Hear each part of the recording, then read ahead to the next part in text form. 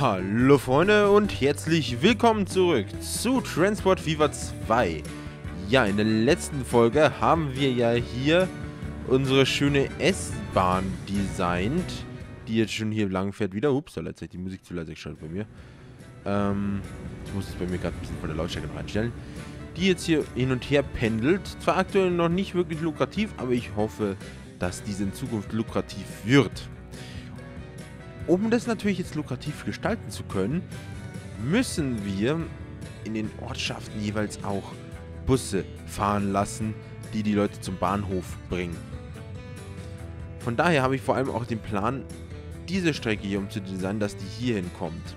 Und dann hier zwei independent kleine Busstrecken, die fahren. Beziehungsweise ich glaube, glaub, ich mache hier sogar eine S-Bahn-Strecke draus. Ich glaube, ich mache hier zwei S-Bahn-Strecken, die fahren und hier kommt Bus einfach rein. Bedeutet, wir designen jetzt erstmal hier schnell die Station. Ich würde sagen, wir brauchen zwei Plattformen jeweils. Wir machen es elektrifiziert.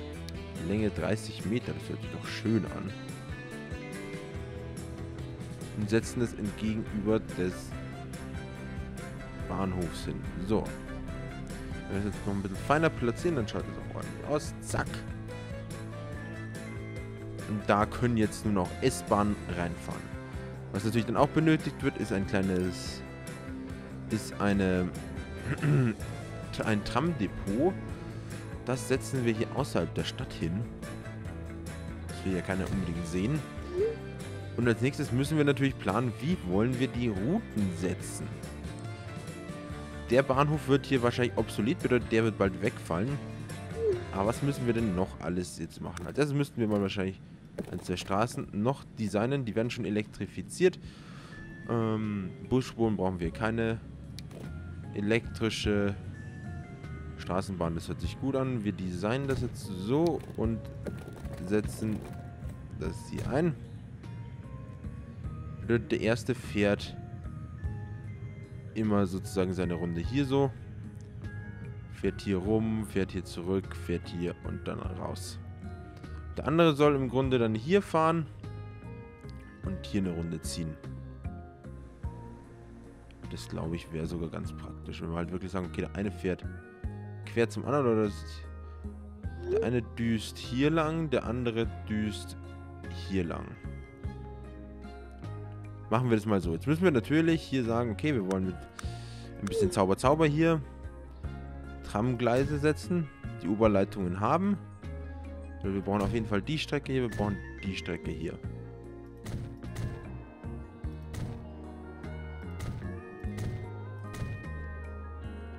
Zack. Und dann setzen wir natürlich noch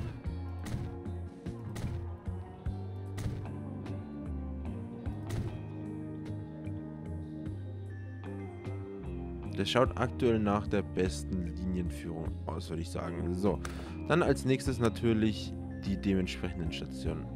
Der fährt hier raus, fährt als erstes mal hier rüber. Dann machen wir hier in der Mitte natürlich ein Doppelhalt-System rein.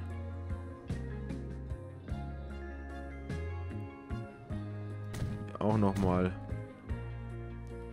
Und das passt dann schon. So, der nächste fährt dann auch hier, fährt hier raus, hier vor. Hier ist seine erste eigene Station dann.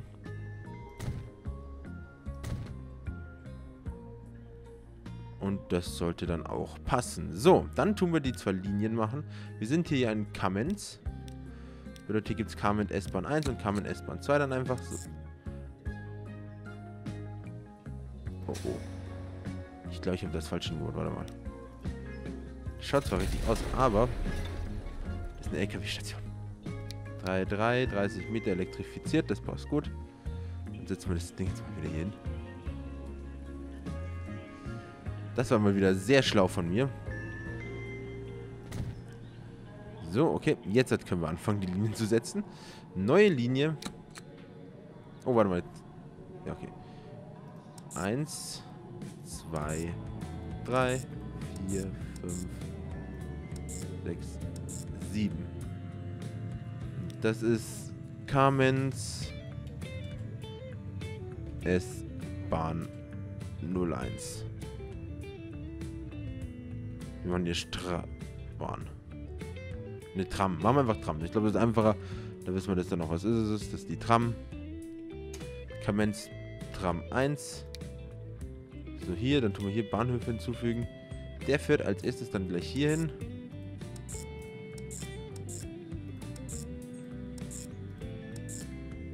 Und das ist Ka Kamenz Tram 02. Und, ah, wir müssen natürlich hinter auch noch elektrifizieren. Und dann können wir uns hier mal schön zwei Maschinen rausnehmen. Wir nehmen wir die Vitjas hier, die schaut ganz cool aus. Die schaut ein bisschen veraltet aus. Wir nehmen zwei von denen hier. Was ist der Unterschied zwischen den beiden? Nehmen wir zwei von denen hier. Und dann machen wir gleich vier. Übertreiben wir es gleich, weil das ist unser Name. Jetzt haben wir hier Kamenstram 1. Kamenstram 2. Und da kommt die Kamenzbahn.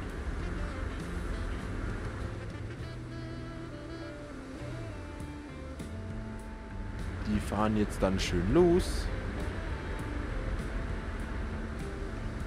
Elektrifiziert und Hightech geht das jetzt hier auf die Bahn. Und dann setzen wir als nächstes, natürlich müssen wir für die Linien, die wir haben, zum Beispiel die rote Linie, das ist jetzt die, wo ist denn die? Bootbus hier, die da. Das ist Kamenz-Abzweigung und das ist 1. Zweig und das andere ist die Abzweigung. Dann müssen wir jetzt hier Abzweig wegmachen und sagen, du hältst hier. Genau. Und dasselbe kommt dann für die gelbe Linie hier rein. Abzweig kommt weg. Und die fährt auch nach hier. Dadurch wird in der Stadt die Station abgerissen.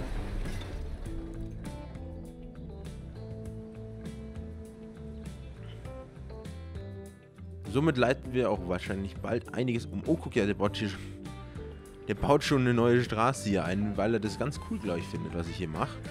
Wir spulen mal ein bisschen vor und schauen, was passiert, wie sie es annehmen, das ganze System vor allem.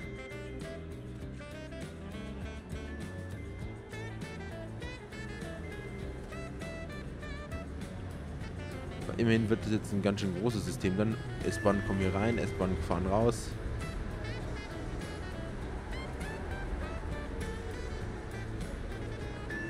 Oh Gott, ineinander.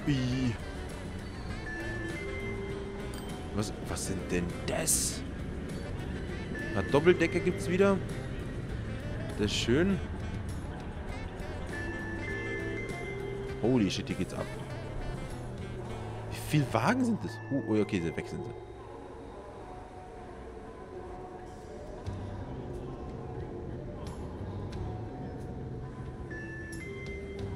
Aber dadurch, dass das jetzt hier auch schon... Wo laufen die hin? Ach, die warten jetzt hier, okay. Ah, schau an, jetzt bringt sich's. Oh, wie viel warten denn da? Hat der nicht so eine große Kapazität oder was? Holy shit, da sind viele unterwegs.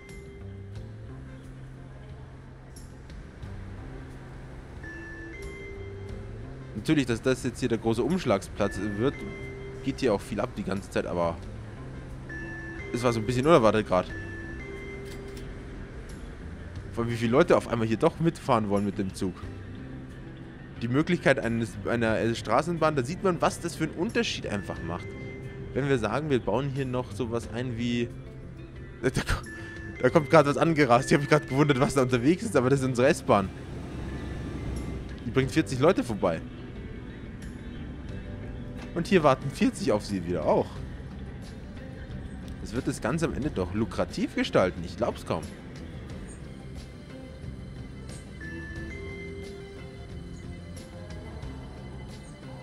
Muss ich am Ende doch zugeben, dass es eine schlaue Idee war, oder was? 700.000. Ordentlich. Unsere Straßenbahnen sind hier auch ordentlich unterwegs. Und die Stadt ist, glaube ich, damit ganz zufrieden. Kamenz vor allem. Weil sie natürlich jetzt einen Weg haben, ans Hochgeschwindigkeitsnetz angeschlossen zu werden. Ja, bei der Ortschaft kann man gleich wenig zu sagen, außer dass ich die Ortschaft in zwei geteilt habe. Vorteil ist natürlich, wir haben hier links und rechts jeweils äh, eine Station. Bedeutet, wir werden jetzt hier einfach auch zwei Linien bauen.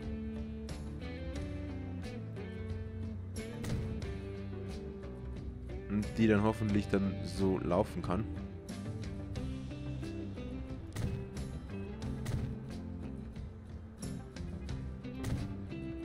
Ich lasse es einfach immer so durchlaufen. So groß ist die Ortschaft ja nicht. Dasselbe machen wir jetzt hier drüben im Grunde. Hier soll auch kurz dann der Bus halten. Der fährt seine Touren dann hier rum. Ist sein Industriegebiet, aber Industriegebiet ist auch immer wichtig zu unterhalten. Und durch die Autobahnanbindung können wir rein aus dem Depot hier drüben auch direkt die Fahrzeuge nehmen. So, das ist Erlensee.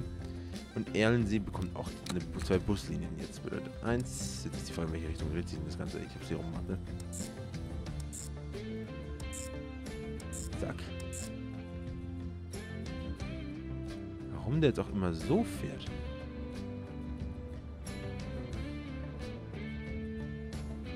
Das ist komisch. Aber okay, dann nehmen wir das jetzt Erlensee. Ich weiß nicht, wie das Erlensee heißt. Also Erlensee oder er Erlensee? Erlensee. Bus 01. Und dann noch eine neue Linie.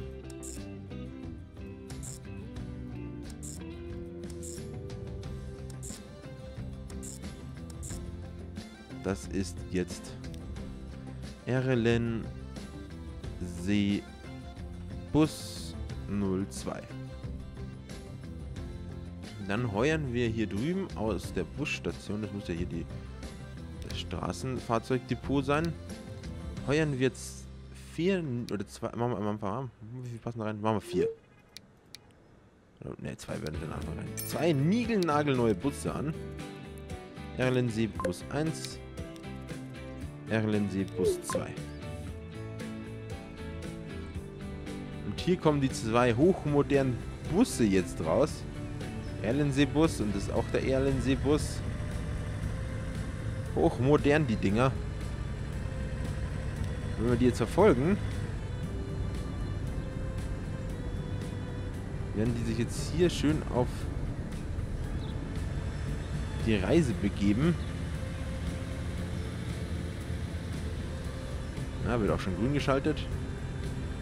Jetzt geht es hier auf die normale Straße. Unter der Unterführung durch. Blinkt er schon, weil jetzt geht es auf die Autobahn.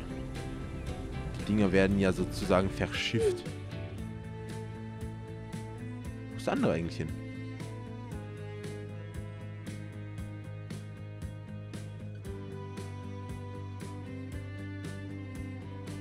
So, eine blöde Frage. Wo ist dieser Bus unterwegs?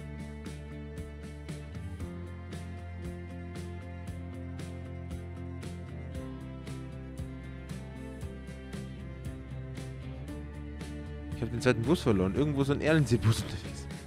Aber der ist schon in der Erlensee-Linie beide drin, oder? Erlensee, Erlensee, Erlensee. Wo fahre ich denn jetzt gerade hin?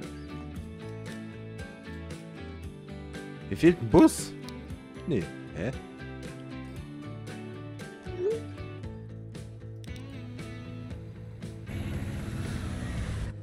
Wo bist du denn zur Hölle unterwegs? Der fährt hier zu... Also wir haben jetzt den Vergleich. Der eine fährt hier über die Autobahn. Aber okay, ja, das, der Unterschied ist wahrscheinlich, der eine muss bis hier rüber, der andere nicht. Holy shit, ist hier eine große Anfrage gerade. Die Ortschaften mögen das auch, wie es scheint. Also die stehen voll darauf, dass ich das denen jetzt hier zur Verfügung stelle. Schon wieder so neu zu... Wie viele Züge soll ich denn noch nehmen? Ich habe nicht so viel Platz.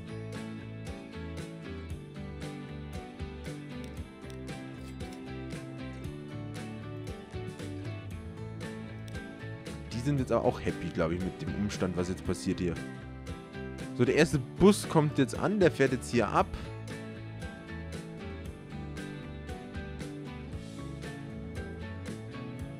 Lecco mio. Der andere Bus ist auch gleich da. Schau an.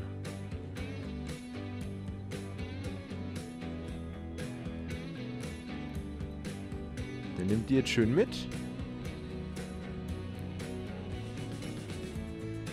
Der dreht natürlich jetzt... Der Umdrehmodus. Holy shit. Jetzt wird gleich mal Plus hier gemacht. Was ist das denn?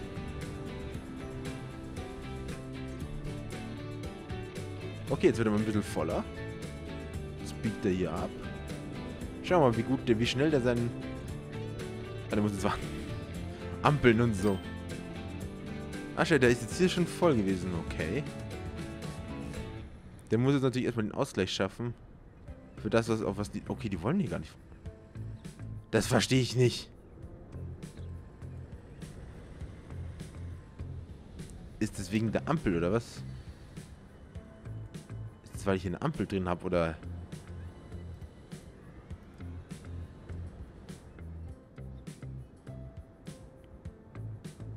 Mann. Mach jetzt hier über die Ampel mal aus. Das ergibt ja gar keinen Sinn. Dann tun wir die Straße ein bisschen degradieren auch noch. Dann sollte das ja eigentlich keinen Sinn mehr ergeben, was der Bus da gemacht hat, oder? Der macht es trotzdem. Warum macht er das? Ah, weil er hier nicht mehr wechseln kann, kann das sein? Oh. Aber es reduziert sich schon. In der Busstation stehen auch ein paar immer wieder, aber ich glaube, der Bus hat jetzt mit der zweiten Runde schon nicht plus gemacht. Warum ist er immer noch im Minus?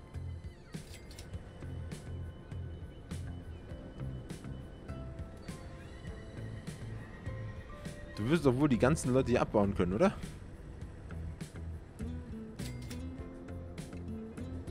Die machen doch ordentlich Gewinn, denke ich. Also so fühlt sich auf jeden Fall an, dass die Gewinn machen. Aber vielleicht dauert es einfach auch, bis es alles abgebaut wird. Ich weiß es nicht, aber was ich weiß, ist, dass diese Folge vorbei ist. Ich hoffe, es gefallen. Wenn ja, lasst mich einen Daumen nach oben da. Abonniert, wenn ihr noch nicht habt. Und wir sehen uns in der nächsten Folge wieder. Also, bis dann. Ciao.